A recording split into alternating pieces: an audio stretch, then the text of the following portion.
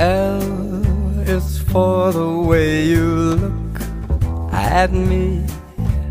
O is for the only one I see.